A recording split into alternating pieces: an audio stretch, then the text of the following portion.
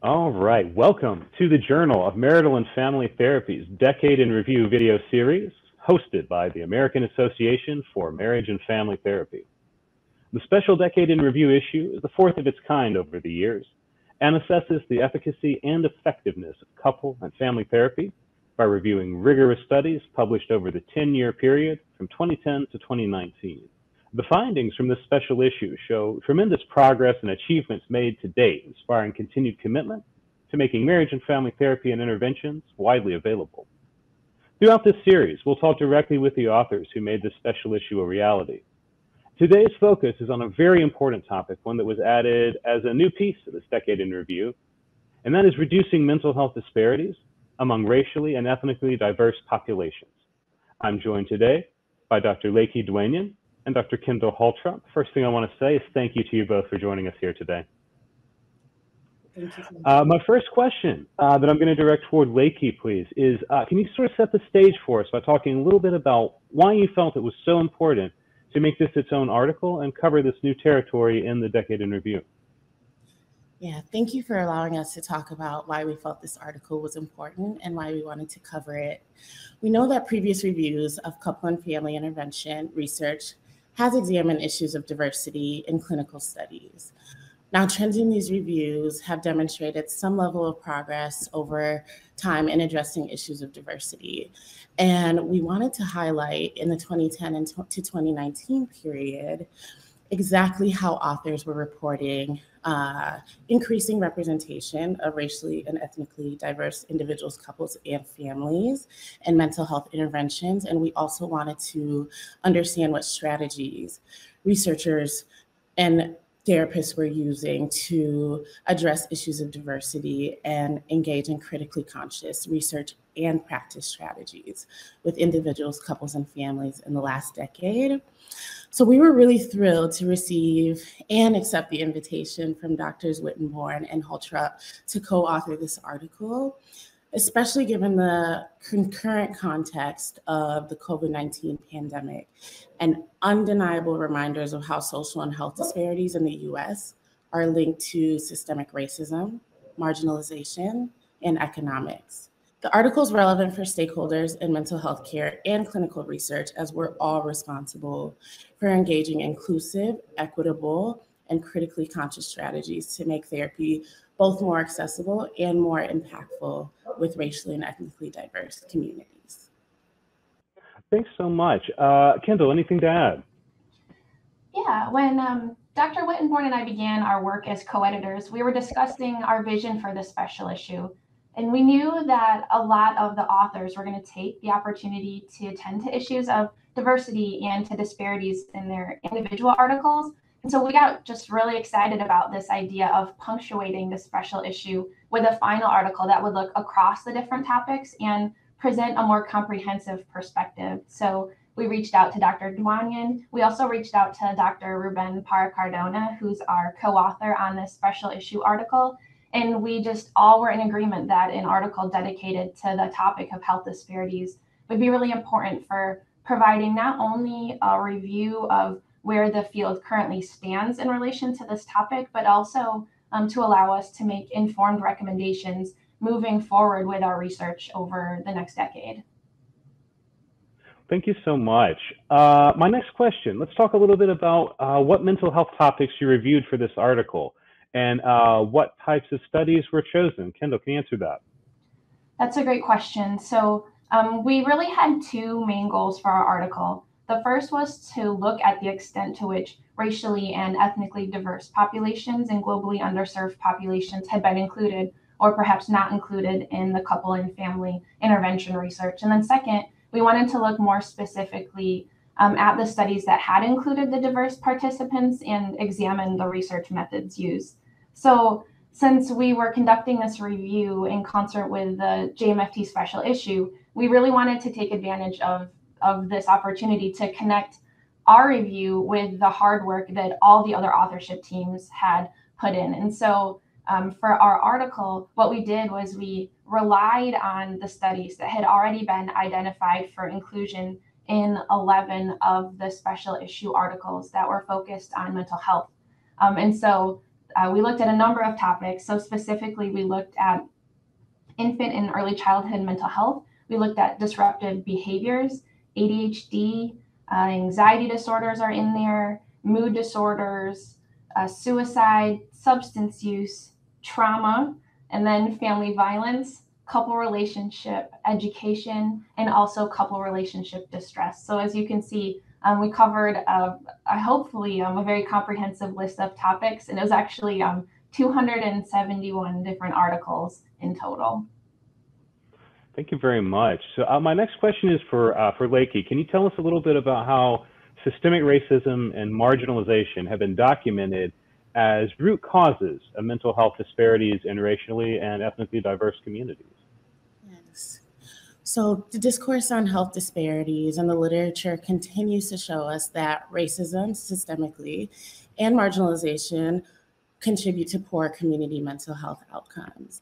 There's a term called historical trauma that refers to community level exposure to violence and marginalization. And this term was developed by Native and Indigenous scholars to explain the community and intergenerational effects of exposure to systemic violence and racism. And this perpetuates harm in communities that are already charged with excessive expectations of, res- of resilience and coping, and on top of that, have less access to quality um, and evidence based mental health interventions. Now, in terms of specifics, research shows that income, wealth, housing status, geographical location, and other social factors are determinants of health, including for mental health. The reason being is that social factors such as economic strain and poverty disproportionately affect racially minoritized communities and perpetuate individual and family stress. This impacts health.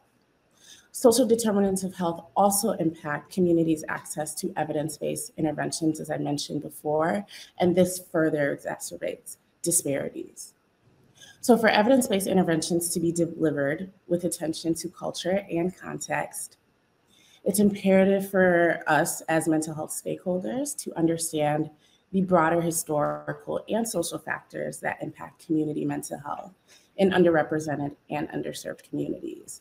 We also have to acknowledge that racism does exist at multiple levels, from the individual to institutional to systemic. And in that, we also have to combat racism individually, institutionally, and systemically. And that involves all the ways that it's very existing and persistent in the mental health field. Thank you very much. Um, for our next question, can you talk to me about the extent to which uh, diverse populations were included in couple and family intervention research over the past decade? And whether these studies were conducted with attention to issues of diversity or not. Kendal, let's start with you. Yeah. Um, so your first question was about the overall kind of inclusion of diverse populations. So I'd like to share a little bit about the results that we found in our review. So we found that there were 175 studies that were conducted in the United States. And of those, about two thirds included predominantly white, non Hispanic participants. Um, so there were a third of the studies that we looked at that included a sample of participants that were primarily from racial or ethnic minority groups. Across topics, we saw that the highest percentage of inclusion was in the substance abuse intervention literature, and the lowest was in the topic of couple relationship distress. Um, and then we also looked at those international studies. And in our review, we found 92 studies that were conducted in international contexts. And of those, only 5% were conducted in low or middle income countries. And then another 3% were conducted in high income countries, but the um, authors identified that a racial or ethnic minoritized um, sample was used in that study. Um, but overall, there was uh, very little research on globally underserved populations. And then when we look at um, all those studies together, we see that in the review, we found about 25% of the articles that represented the last decade of research on couple and family interventions um, were focused on um, racial or ethnically diverse samples or globally underserved uh, populations um, for specifically the studies looking at mental health. thanks so much. Uh, so uh, over to you. Uh, can you speak to uh, the attention to issues of diversity issue? Yes, so for the second question, we examined the full text of 60 articles that included predominantly racially and ethnically diverse participants to identify strategies um, that research teams use to attend to diversity in relation to culture, race, ethnicity, context, community, history, disparities. Uh, we coded along six methodological dimensions, including personnel, eligibility criteria, the intervention itself, the measures that were used. We looked at the outcome analyses, and we looked at how the studies were contextualized. So I'll just explain a little bit about each and then what we found. When it came to study personnel, we wanted to assess uh, whether study personnel also represented the racial, ethnic, or language diversity of participants. So 40% of the studies reported using personnel that match the racial, ethnic, or cultural identity of, of, of clients. Most frequently, we want to note that we saw this uh, occur when there was a, a language match for non-English speaking participants. For eligibility criteria, we assessed whether uh, racial, racially and ethnically minoritized or non-English speaking participants were specifically included in studies and intentionally included. What we found was that 40% of uh, studies specifically included diverse participants. That means they either had full samples um, of specific cultural groups, so an intervention for African American families, an intervention for Latino youth, or they were most frequently coded also when it came to recruiting non-English speaking participants. So for intervention, we also assessed whether the intervention was developed or adapted to fit diverse populations and or whether the intervention had demonstrated positive effects in previous studies. We also coded this one if non-English speaking language uh, was used to de deliver the intervention. 33% of articles uh, uh, either developed or adapted or mention positive effects of the intervention with a racially or ethnically minoritized communities before employing it in the study. For measures, what we wanted to understand was whether at least one measure that was used in the study was psychometrically validated with diverse populations. Again, whether it was delivered in, an, in, in a non-English speaking language, or whether or not there were measures that included a variable pertinent to the experiences of racially and ethnically diverse communities. So if there was a measure on discrimination, um, racism, we found that 27% of our uh, measures were psychometrically validated or administered in non-English language. For the last two, uh, we assessed the outcome analyses and the contextualization of studies. For the outcome analyses specifically, we wanted to examine the analyses of focal outcomes related to race and ethnicity. So studies that were only controlling for race or ethnicity did not meet the criteria. Uh, those including minoritized only populations, however, did meet criteria just off of the, the uh, basis of including a full sample of diverse participants that were non-white. 28% of articles reported specifically analyzing outcomes by race and ethnicity. Uh, this was a finding that we determined in terms of the analysis of focal outcomes. And lastly, for contextualization, we assess whether studies were contextualized in relation to experiences of race, ethnicity. Uh, we also, you know, assessed whether there was any mention of related topics to disparities, um, equity, uh, social factors, and an example of that uh, was that we would look in the literature re review or the discussion section and see topics highlighted uh, related to culture. 58% of articles actually by definition included at least some level of contextualization. Now, within this 58%, there's a range of ways that authors did this, range from more brief, brief context in many studies, majority of studies would uh, say something such as, we included a substantive percentage of Black families who are overrepresented in the CPS system. That was an example from one article that did meet the criteria for contextualization. And we also uh, were able to code more substantive offerings like studies that would describe uh, community disadvantage and how racial discrimination and financial strain collectively impede on relationship quality in families. So that was our that was our framing when we were looking at contextualization. Thanks very much. Uh, my next question is about uh, what opportunities are there to advance the development and delivery of culturally and contextually grounded interventions uh, for couples and families. And Kendal, let's start with you.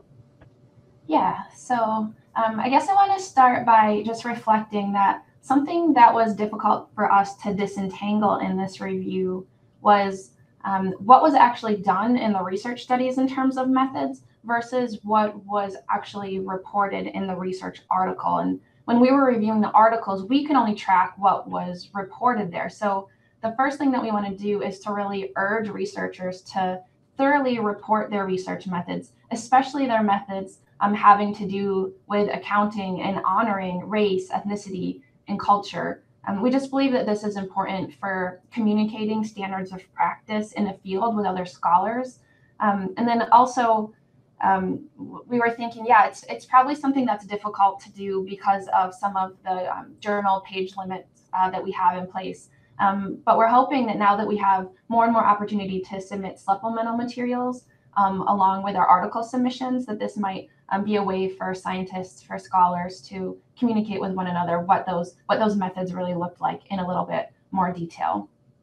Um, and then in terms of the actual research, really to reduce um, mental health disparities among racially and ethnically diverse populations, we need to do a better job as a field of really centering the experiences of minoritized and underserved populations. Um, and that really includes conducting research that's intentionally designed to not only better include these populations, but research that's also characterized by these methods that do account for race, ethnicity, and culture. Um, and so, for example, we know that establishing a climate of trust and a climate of mutual rapport is important when doing research, and it's especially important when doing research with historically oppressed communities, right?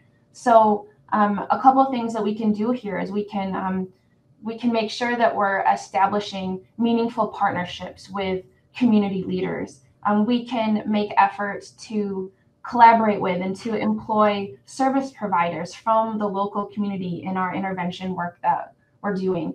Um, and it's also so important for us um, as we're doing this research to, to take a look around and to critically examine the makeup of our research team to, to make sure that people from the focal population are really represented and they're really included in the project, um, in the project leadership, in the project implementation. So this could look like um, PIs and other researchers who are on the leadership team. This can look like research assistants, project managers, interventionists, um, assessment team members. So those are um, just some ideas that that I have for for this moving forward. Thanks so much, Kendal. Uh, Lekie, anything you'd like to add to that? Yeah, Kendal, thank you for mentioning that. I do want to add to your examples. They're really great in terms of emphasizing the importance of people and the people that we invite and engage into um, our research. And I want to first talk about the importance of distinguishing intentional inclusion of participants versus sampling from a population uh, or a context with a disproportionate amount of non-white people. And uh, we see this in examples such as studies conducted in prison systems and child welfare systems. Uh, we want to make sure that we're intentionally recruiting uh, racially and ethnically minoritized and underserved populations, uh, not just out of convenience. And we want to increase our attention to engaging with them when they are, um, when we do invite uh, diverse participants into our studies. Representation also matters when it comes to staffing. Kendal, you touched on this, and I'll emphasize a little bit more uh, that we have opportunities in training and hiring uh, in terms of advancing the development, the delivery, and the implementation of uh, these interventions. We could be training more students and professionals in culturally adapted interventions, um, culturally adapted evidence based interventions that can increase the accessibility to underserved populations.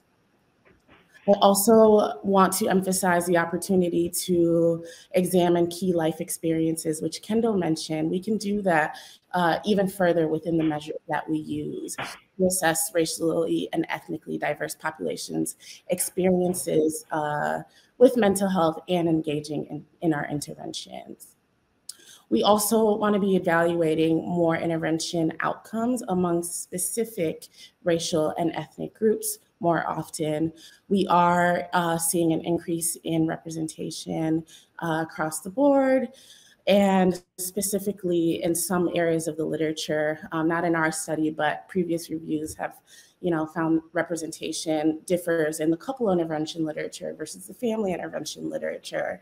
Uh, however, across the board, we could benefit from recruiting more studies with, for example, Latino youth, um, Asian American families, Native American fathers, etc. Thanks very much. Um, so what opportunities exist to enhance cultural adaptation efforts with racially and ethnically diverse communities? Uh, Lekie, let's start with you on this one. Yeah, so there are so many opportunities to advance uh, cultural adaptation efforts. And I want to first start by defining cultural adaptation as the general process of modifying an intervention for cultural and contextual relevance with diverse populations. It's often difficult to determine the level of adaptation or how nuanced the adaptation process was in studies based on what was reported in articles. And Kendal mentioned um, some reasonings behind that. So when we utilize a, a cultural adaptation framework, uh, first of all, we can develop a system to track both significant and nuanced adaptation processes that can substantially enhance later reporting in manuscripts.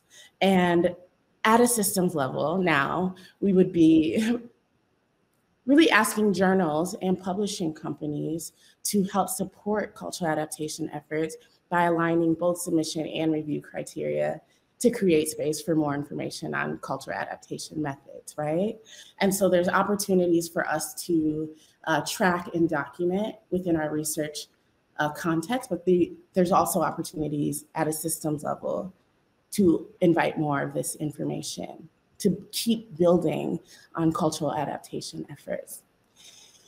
Now, there are a lot uh, of dimensions that are involved in culture adaptation, efforts and oftentimes it'll depend on the framework that's being used. One of the uh, pioneering and most frequently used frameworks involves uh, context, language, person, metaphors, content, concepts, goals, and methods. And this is a framework that was developed by um, Bernal. And we see it used across the literature to attend to methodological efforts um, in studies. And so we could look at, for example, Bernal's model, the eight dimensions, and see where opportunities lie to focus on some of the dimensions that we assess, personnel uh, measures, uh, eligibility criteria, the intervention itself. So pairing our assessments of um, interventions with cultural adaptation models offers us a lot of opportunities to see what's done and where the opportunities lie to further our efforts. Thank you. Uh, so let me ask you about this. Were you at all surprised by anything that you saw as you reviewed the research for this article? Let's start with Kendal on this one. Yeah, what a great question. Um, I think that for me, a surprising result was related to that contextualization finding that Lekie was talking about. Just that so many research articles that featured a predominantly racial or ethnic minority sample didn't mention issues related to race, issues related to ethnicity, inequity, disparities, or similarly relevant topics um, as part of the framing of the article. To me, that just seems like um, a missed opportunity to put the study findings in context and to just highlight those contextual adversities that were uniquely faced by the study participants. Thank you. Uh, Lekie, over to you, same question. Uh, were you at all surprised by anything when you were reviewing the research for this article? Yes, I would echo that as well. Uh, that was a major point of reflexivity for uh, us as co-authors. Want to add that it wasn't necessarily surprising that there was more room to contextualize within studies. As we mentioned, 58% of studies offered some level, and that could include one sentence, right?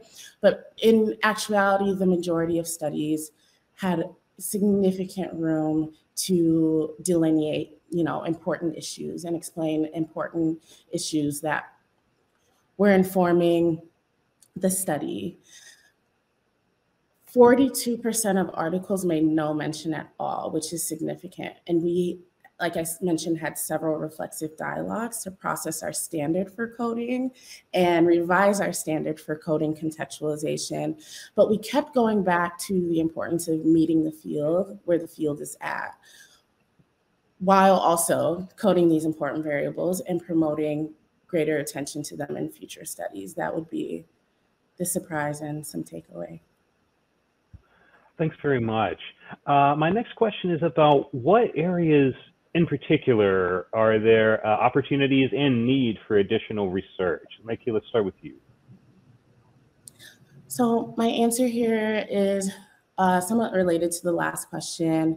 You know, based on this review, uh, in previous reviews focusing on diversity and intersectionality and related issues in couple and family intervention research, I want to emphasize the importance of reporting uh, the field and relevant stakeholders would absolutely benefit from additional research that tracks, documents, and explicitly explains the methodology behind um, engaging racially and ethnically minoritized communities. More process papers on how we do this uh, could be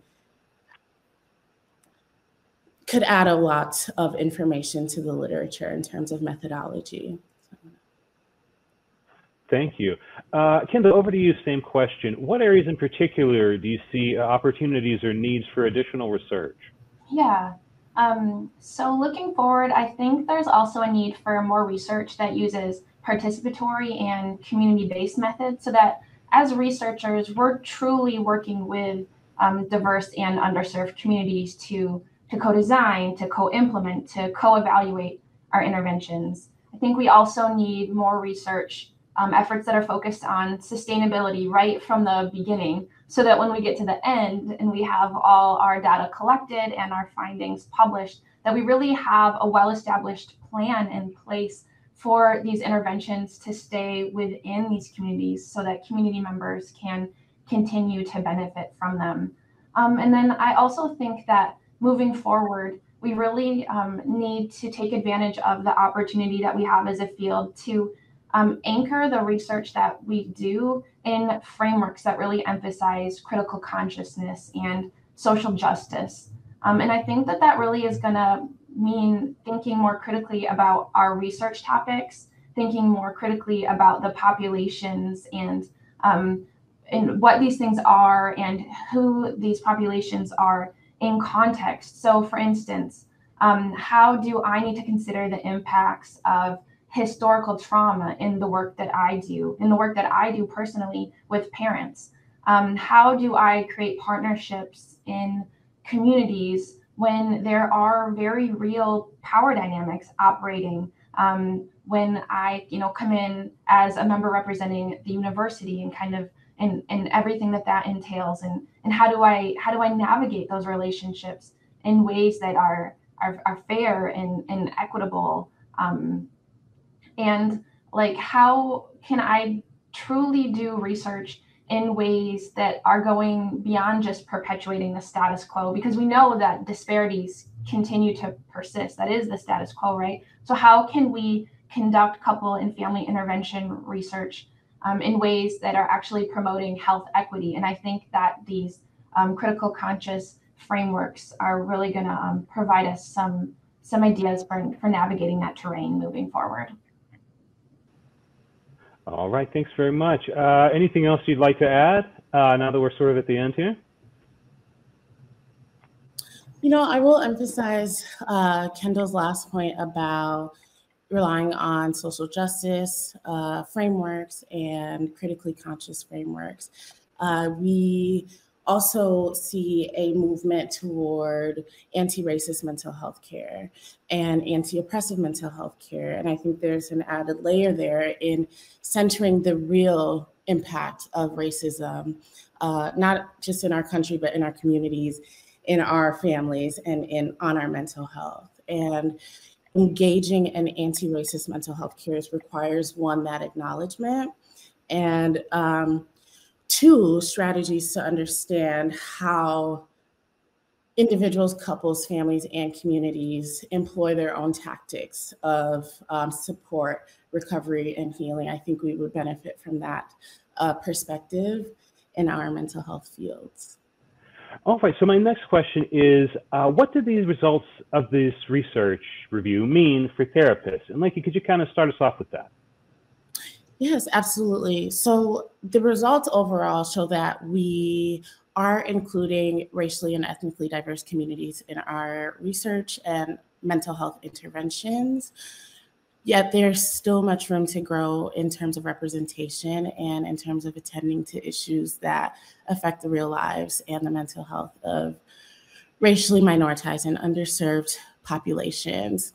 So, considering disparate access to and use of evidence based mental health interventions continues to beg the question of how individuals, families, and communities promote resilience internally and coping, right? And so I want to caution one, not to overemphasize the expectation of resilience and coping uh, for underserved and historically oppressed communities, because that does perpetuate harm and the expectation of having to overcome adversity. And we want to, from an anti racist and anti oppressive and critically conscious place, acknowledge and honor the strengths that individuals, families, and communities come to therapy with, right?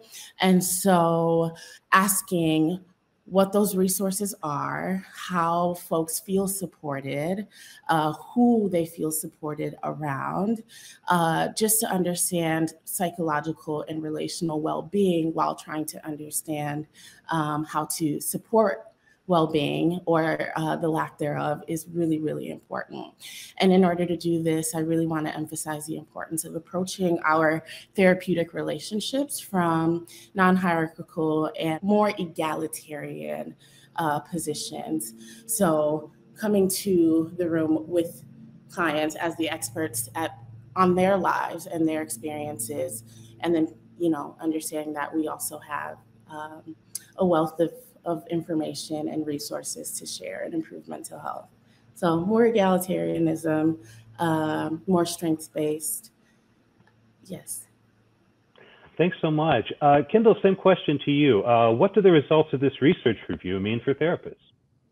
Yeah, I think as therapists, this review is just another reminder of how systemic racism and marginalization um, kind of impact the context of our clinical work. So in this case, um, I think that we're seeing that our white clients really benefit from a greater number of evidence-based interventions and evidence-based practices that have been developed and tested for them compared to clients of other um, racial or ethnic minority backgrounds. So um, we need to be engaging in reflexive practice, I think, where we examine how our identities and our experiences. So for me, for instance, Um, it might be my white privilege, how those identities and those experiences could be impacting how we engage with clients. And then we need to be holding ourselves um, accountable for knowing how to emphasize culturally honoring practices um, in our clinical work. All right, thank you very much. Uh, so this concludes our interview, and I want to just take a moment to say thank you to you both for taking part in our uh, Decade in Review series and providing such insightful commentary on the current state of research around mental health disparities among racially and ethnically diverse populations. Uh, your work on this will be invaluable in, in continuing to advance the profession of marriage and family therapy. I also want to say thank you to all of our viewers for tuning in today. We do hope you'll reach out to us with comments and questions. You can join the conversation with us online on Twitter by tagging at the AAMFT. That's at the AAMFT. Uh, visit the link on the screen to read this article and more from the Decade in Review issue. And we thank you all for joining us today. Thanks, everybody.